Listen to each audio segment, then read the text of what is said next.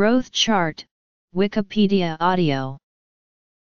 A growth chart is used by pediatricians and other healthcare providers to follow a child's growth over time.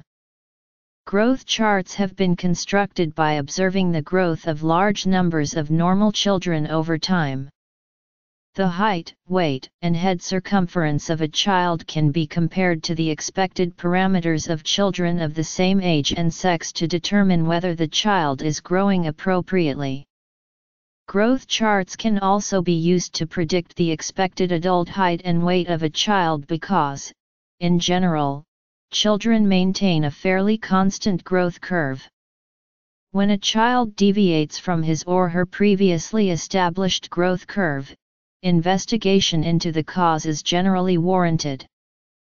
For instance, a decrease in the growth velocity may indicate the onset of a chronic illness such as inflammatory bowel disease. Growth charts can also be compiled with a portion of the population deemed to have been raised in more or less ideal environments, such as nutrition that conforms to pediatric guidelines, and no maternal smoking. Charts from these sources end up with slightly taller but thinner averages.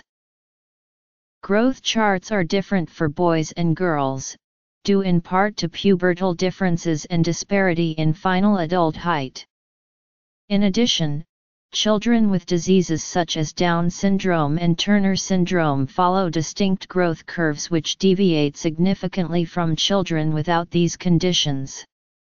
As such, growth charts have been created to describe the expected growth patterns of several genetic conditions.